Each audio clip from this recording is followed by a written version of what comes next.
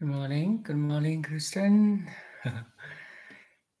I used another computer. This computer, maybe the camera is not so good, but uh, can you hear me, right?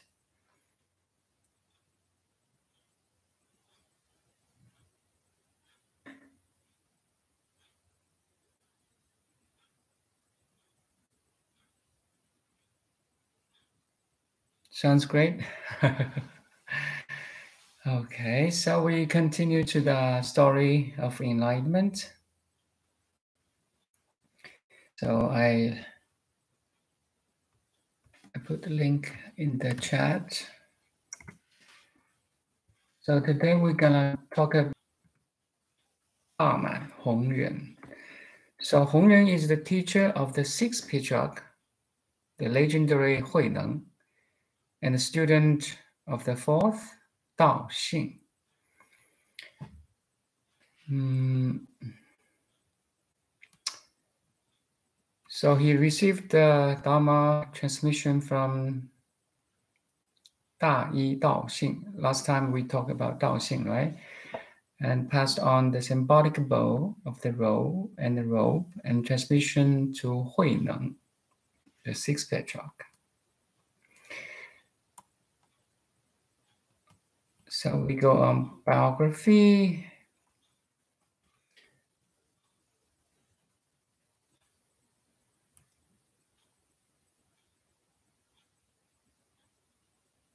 So not too many details about his uh, life. His childhood, he was born in Huangmei, uh, family name Zhou. Father abandoned family, but Hongren displayed exemplary filial duty in supporting his mother.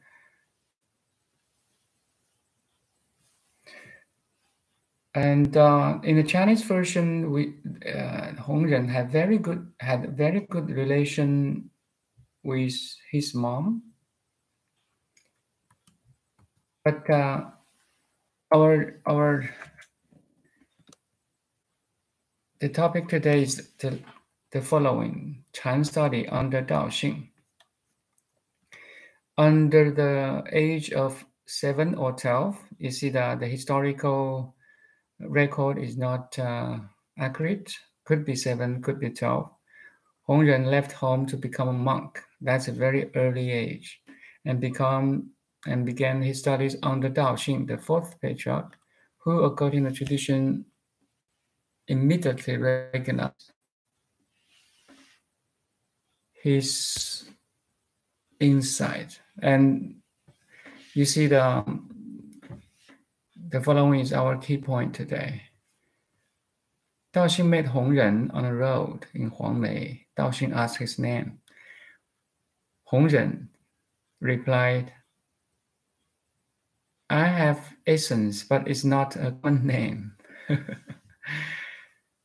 his teacher Dao Xing said, asked, What what name it is. Then student Hongren said, it is essence of the Buddhahood. Dao Xing replied, have you no name? Hongren said, no, because essence is empty. With this, Dao Xing passed on the teaching and the robe, making Hongren the next picture of Chan. We have a Chinese version too. Just give me a sec.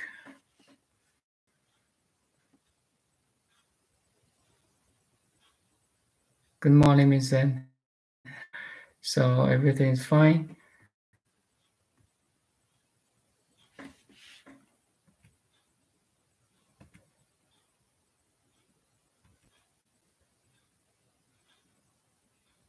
So the the the Chinese version actually uh, the English translation is very uh, is is okay, but um, I wanna translate from my side too. So Dao Xing asked this little boy, either either seven years old or twelve, and what's your name? And Hongren asked. And Hongren said, I have a name, but it's not common name.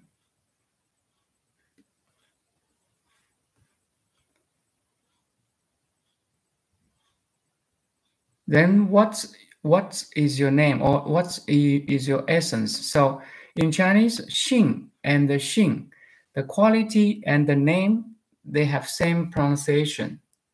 What's your name? Xing And uh, what's the essence? The essence and the name, they have the same pronunciation.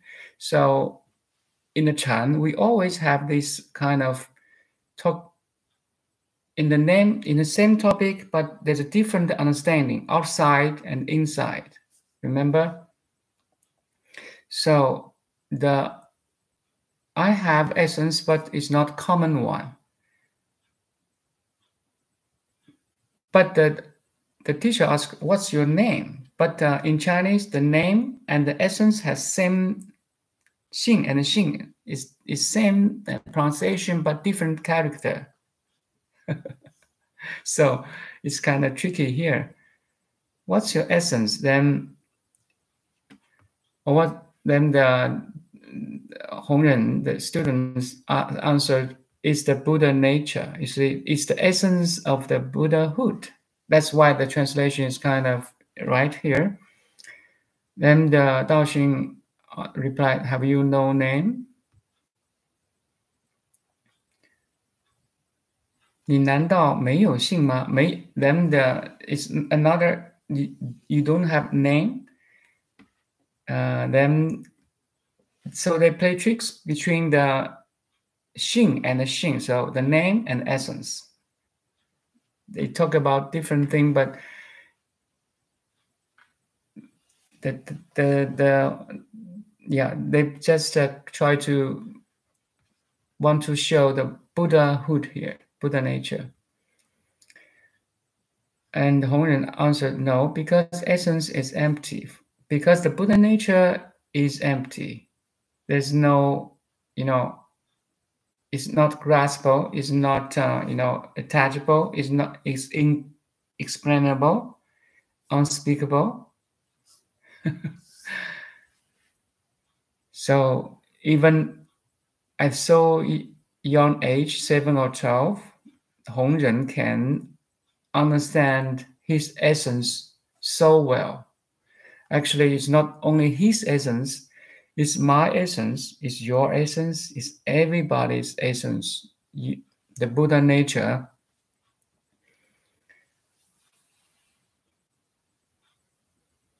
it's just like uh, empty space, but every form and name right now is in front of you a computer, a, a desk, a cell phone, my image, your body sensation. Every contents contain this empty space, which is formless, while every form is in this formless space. I, as Einstein said, the form, the material world, is the extension of the empty space.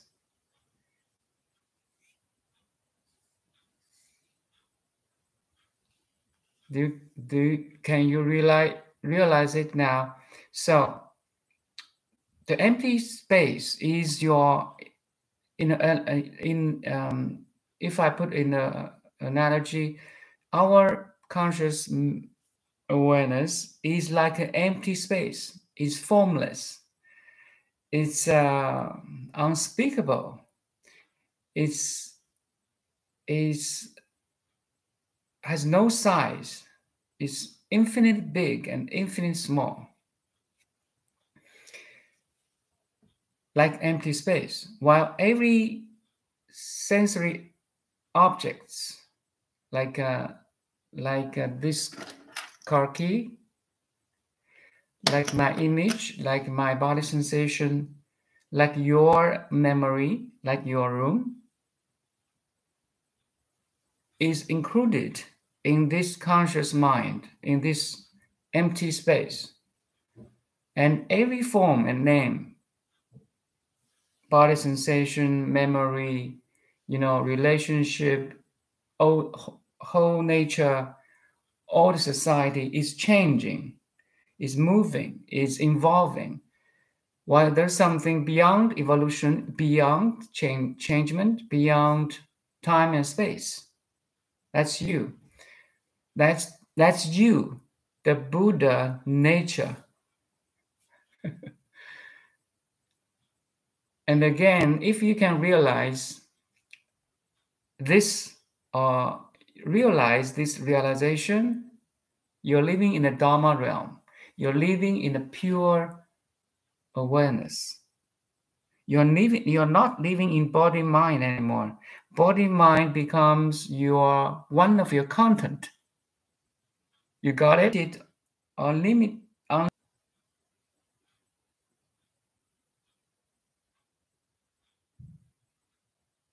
and every master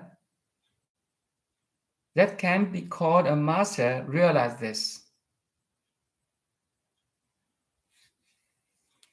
Like Hongren, like Dao Xing, like uh, Hui Neng, like Sun Can, like Hui Ke, like Bodhidharma. I goes back. There's, we have studied the patriarchs,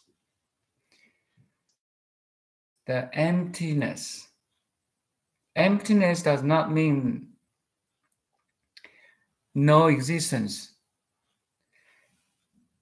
in, in front of me, but I know it's empty.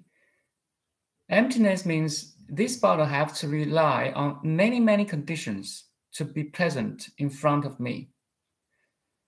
Like manufacturer, like the material from the steel or plastic, right? Home to the room. Even I bought this 10 years ago, I moved from place to places. Its presence in front of for me now is empty again, meaning depending on life. In essence, it does not have a self. That's why we call this is empty. So empty in terms of in relationship to you the awareness is not empty. The awareness is a permanent existence. Existence does not subject to any condition.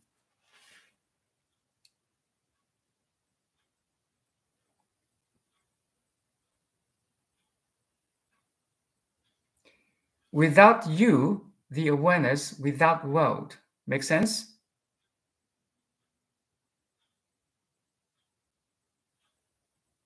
Without mirror, without reflections. so oh, I always want try to repeat this again, again, and again.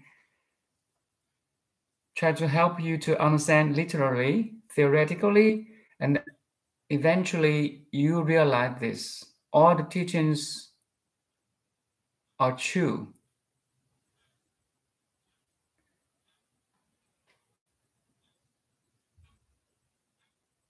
Oh, shoot.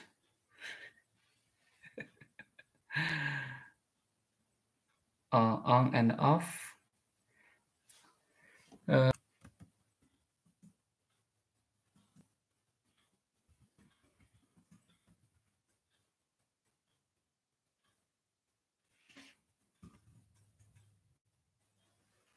hmm.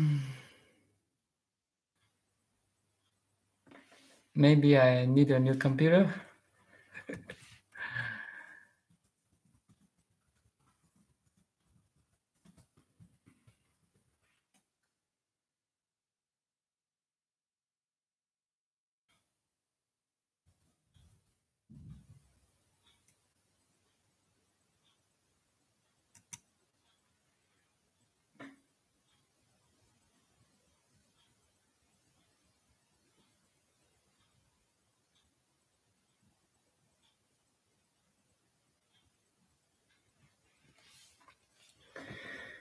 Yes, I'm so sorry. The, maybe hmm. it's a it's an old computer. It's a and uh, the processor is not fast.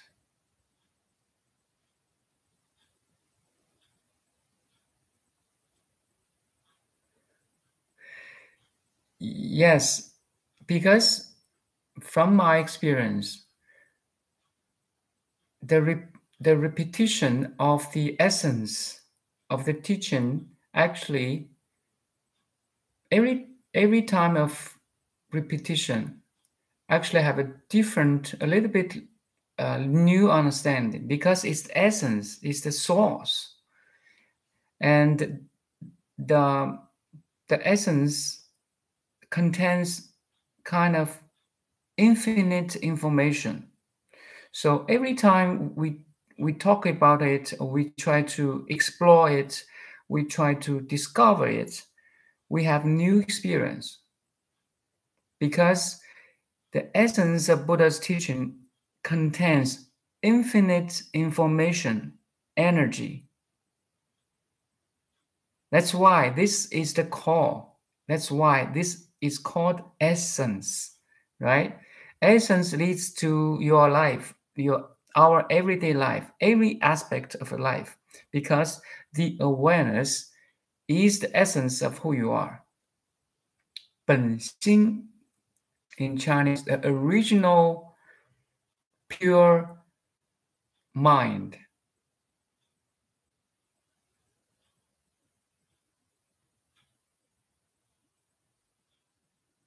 The original primordial ground in which every experience was born, is born, is arising, and will disappear. That's why, like now, every moment, the essence is as a background. That's the that's the Zen that's the Chan teaching. That's the Zen about the uh, Dongshan Mountain School. So if you go East Mountain School, sorry, East Mountain. So we back to the, um, the page, East Mountain Teaching.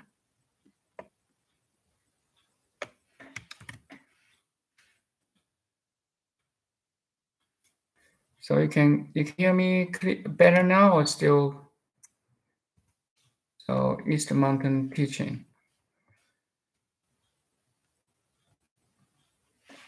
Hongren was significant in the development of early Chinese Chan. The teaching of both Daoxing and Hongren became known as East Mountain teachings, but Hongren was one was the more prominent of the two.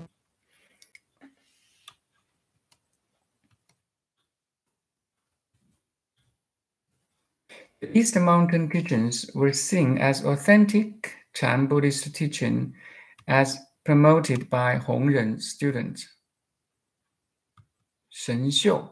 So if you still remember, he has two main disciples, Shen Xiu and uh, Hui Neng. So Shen Xiu is in the north, is a northern gradual enlightenment practice. And Hui Neng is in the south, in the Guangzhou, Hong Kong area. So it's the southern, southern, southern enlightenment practice. I I suggest both gradual and sudden could should be combined. But if you can realize sudden enlightenment, like you are Buddha already, you have the essence of Buddha nature, like every masters, like every story of enlightenment of every masters. And gradual enlightenment or gradual practice is needed after your sudden awakening because all the uh, gradual practice or you know step by step is to remove the habitual thinking egoic mind behavior and so on. Because all the habitual thinking thought patterns has influenced us so for many, many years. It's not easy to remove them at once. It takes a little while, like meditation, uh, like years of meditation, like years of spiritual study, or reading the master's book. Following a master, it takes a lot of practice, gradual practice. But it's better you can realize the Buddha nature or the essence, the Brahman, the Atman. You can use any name to pointing to that uh, essence, that um, the light of God, if you would use that too.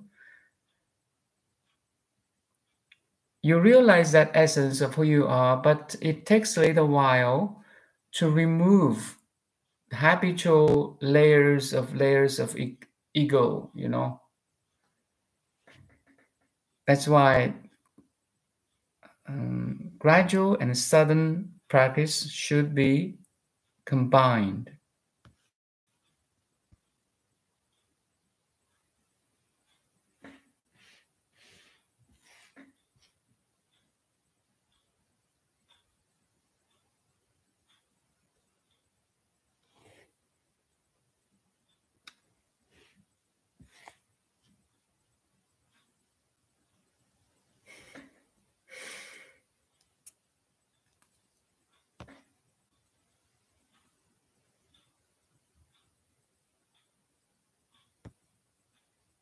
So meditation practice, the last uh, paragraph, view your own consciousness, tranquility, and attentively. Oh, sorry, view your own consciousness tranquilly and attentively so that you can see how it always moving. You see, like flow, flowing water or a glittering mirage. So mirage is empty, it's not real. So it's can um, con- contain or denotes the unreal stuff of the mind, of the thoughts, thinking, memory, the emptiness, until its uh, fluctuations dissolve into peaceful stability. The pure mind that is is not conditioned and cannot be conditioned is always peaceful and still. The ripples on the surface of ocean cannot disturb the depths the the the depth the depths of the ocean. I mean, I use that an, uh, analogy again. Um, our thoughts memory like now actually we are using the thought we're using the mind the conscious mind to talk. It's the activity in the mind right? Mental activities. Also includes my body language and so on.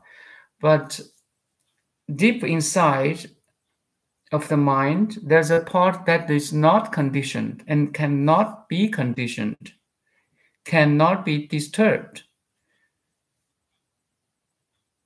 So I want you to experience it. It seems you are disturbed by the thinking and thought and the mental activities because you feed your attention on it. If you draw back your attention to the stillness and inner calm, inner stillness, Nothing can move you. Nothing can move you. Nothing can disturb you. Nothing can distract you. And this kind of realization happens after years of meditation. That's why meditation practice is necessary. There's an extremity that oh oh yes uh, I I'm I have this sudden enlightenment. I don't need any practice anymore because I have this. I'm Buddha already. No, don't go that uh, extremity either. Even you realize you are you are enlightened, nobody will say he or she is enlightened because enlightenment is like is a is a original face you you just discovered it. You already it. so there's no boasting of oh you discovered the original face. You are it already.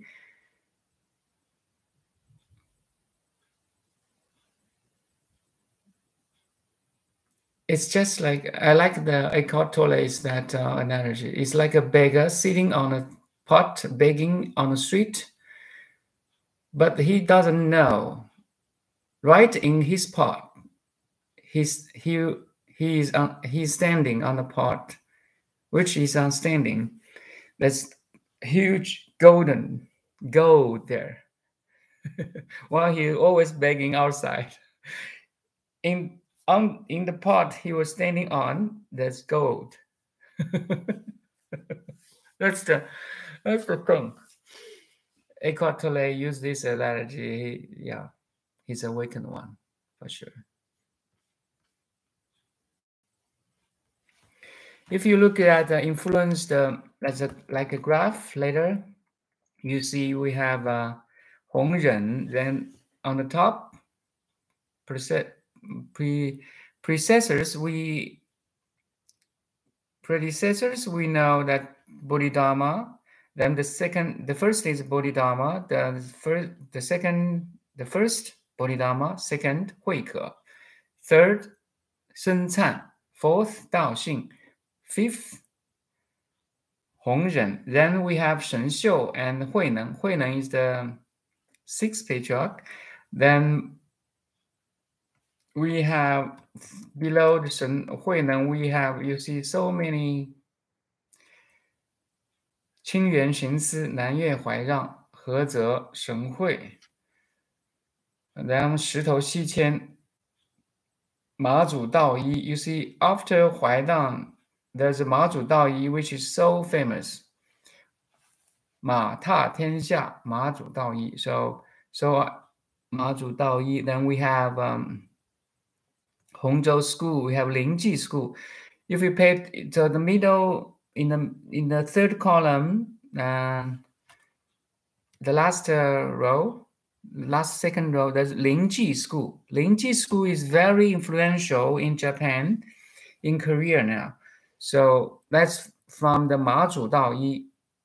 And Mazu Daoyi is a student of Nanyue Huairang, while Nanyue Huairang is a student of Huineng. Huineng is the student of the Hongren we studied today. You see, the lineage is going on till now, till this moment. So it doesn't rely on anybody. You see, the truth never subject to any body. No matter your farmer or cashier in the market or your president of a country, is not subject to anybody. It's, the truth always carries on. It's like space. It's everywhere and everywhere, no matter who you are or no matter what the object is.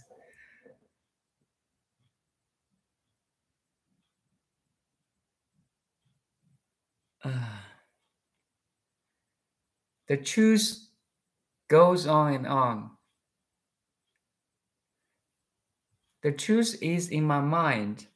It's so I just realize it.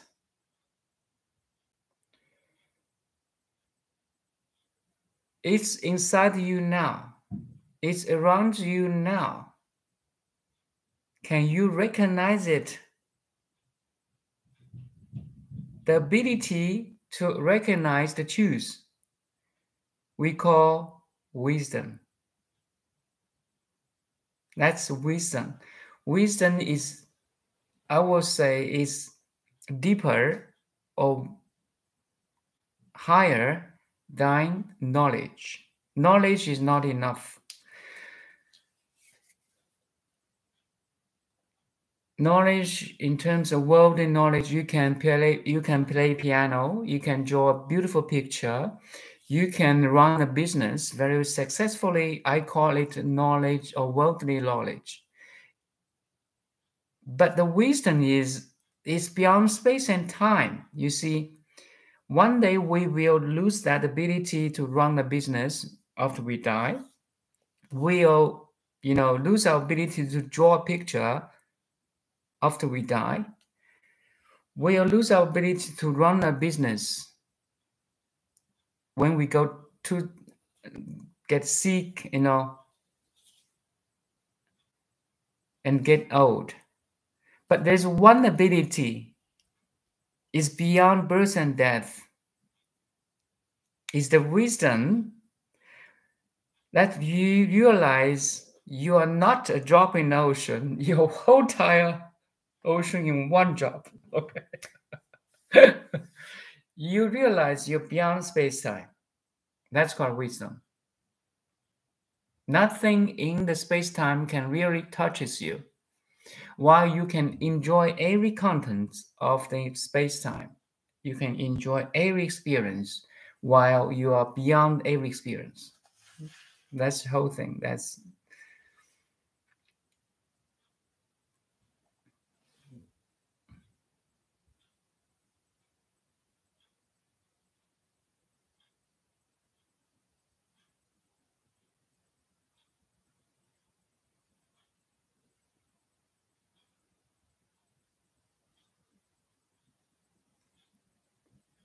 No matter I'm talking or not talking, no matter you're listening or not listening, no matter you're we are doing or not doing,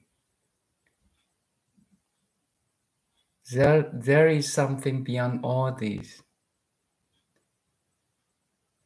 There's something beyond all the dualities.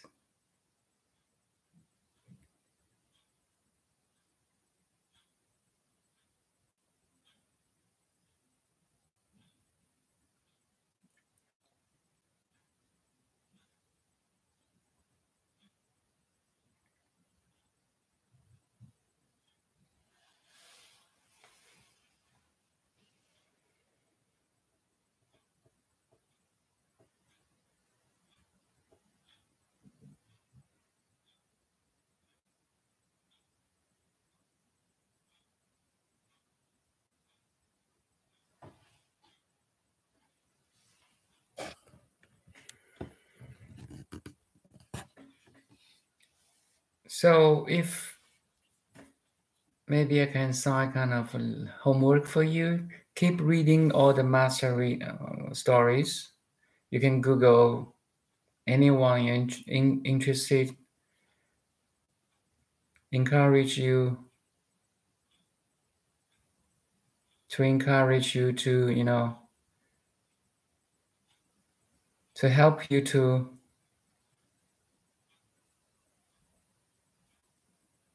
go through the darkness.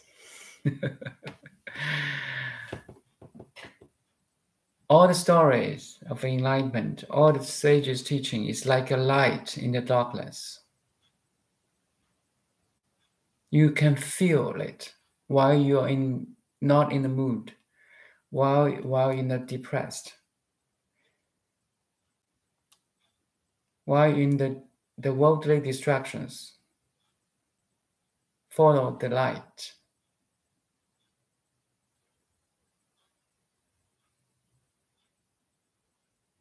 Follow the stories of enlightenment. Follow their teaching, Buddha's teaching too.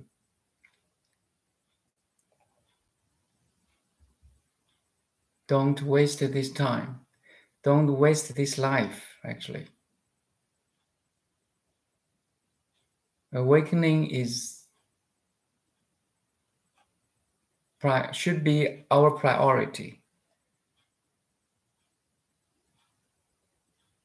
And awakening there's no conflict between awakening and worldly life or life.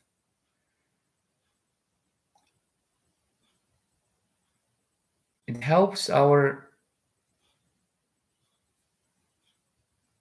it helps in every aspect of life. It, it, like meditation improves your concentration, improves your productivity. You are not so easily disturbed and distracted. You always have that sense of I amness.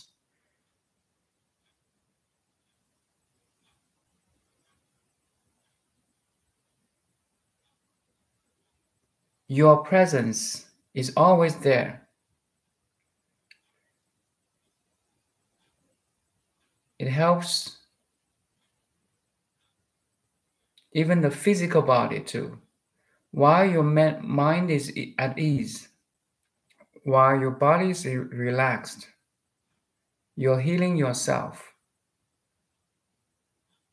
It's the highest healing. The body, mind, spirit now is in harmony, is in union.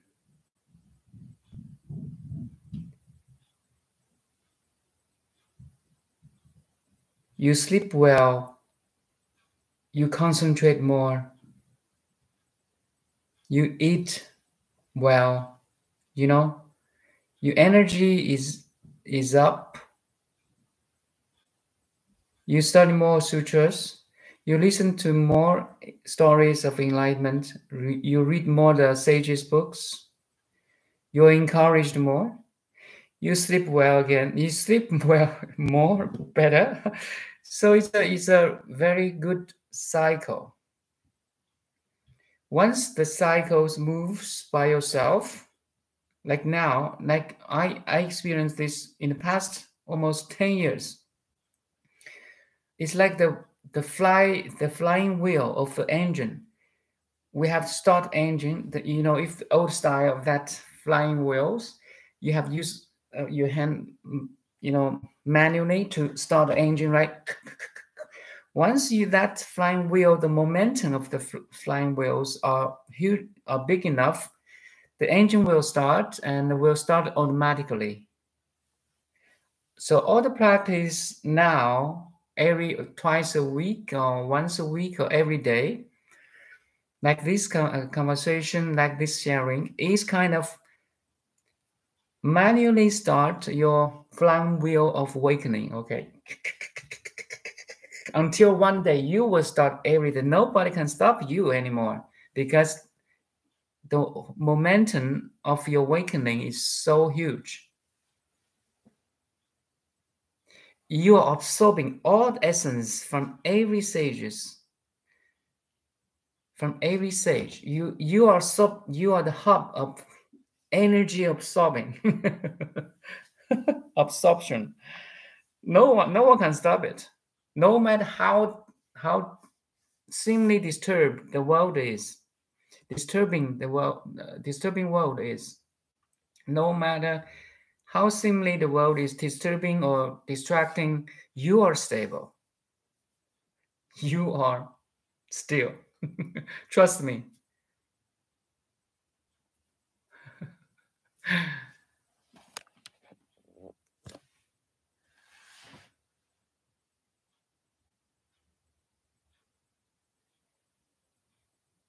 Lao Tzu, Zhuangzi, yes, beautiful.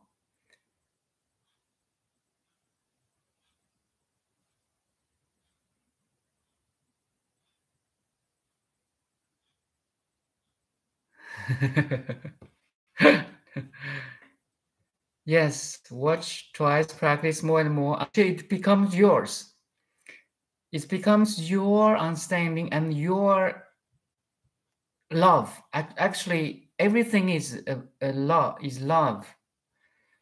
Like the love from nature love from the water love from the food love from the family member love from the society love from everything contains the essence of love. If you can realize it you are you are lucky man. You are the richest man in the world. Trust me. Once you find everything, every love in everything, you are the richest man or woman in the world. Because that feeling is beyond money. You see, that feeling encourages you in, you know, helps you make you so good.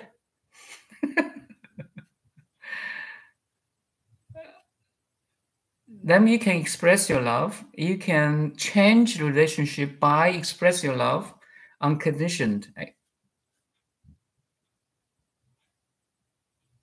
And you don't ask for return.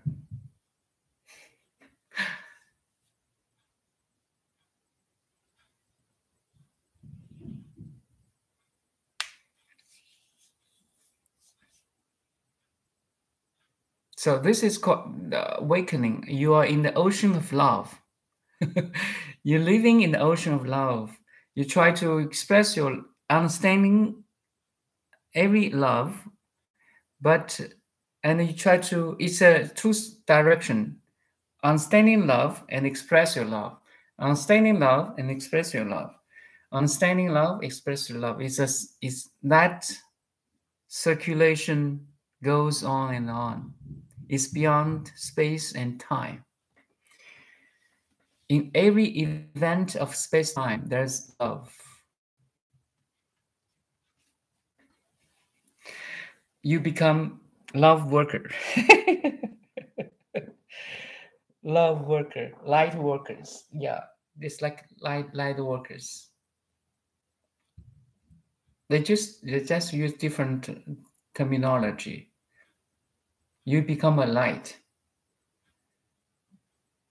Now we are absorbing light. We are, we are absorbing, absorbing energy from the sage's teaching until one day that the, the you have so many energy and light in yourself now you, you will express it to your friend to your family to your colleague college uh, colleagues, to your, you know, to everyone, everyone around you, even far away from you. because again, this thing, the love or light, has no limit of space and time. It's like the Buddha's teaching influenced me, influenced you, influenced everybody now. It's 2,500 years ago, right? But the love and the light of Buddha is beyond space and time. Is sub is not subject to space and time. You're really living in the Dharma realm. If really oh, everything is you and you are everything. it's so easy to say, but uh, you know, it's better you understand it and realize it too.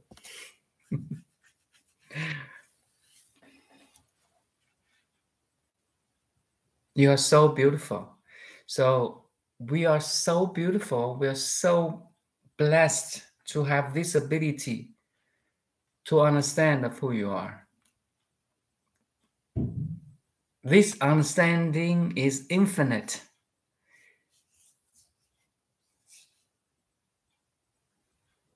That's the beauty of awakening.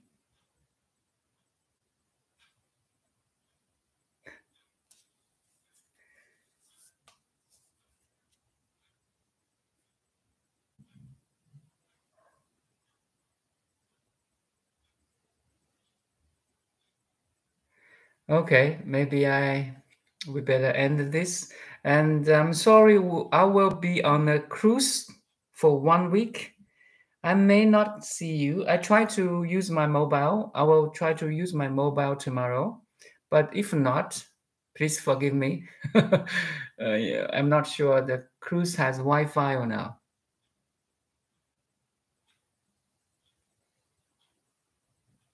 So I wish you all the best and keep on practice every moment, every day, every year, every life.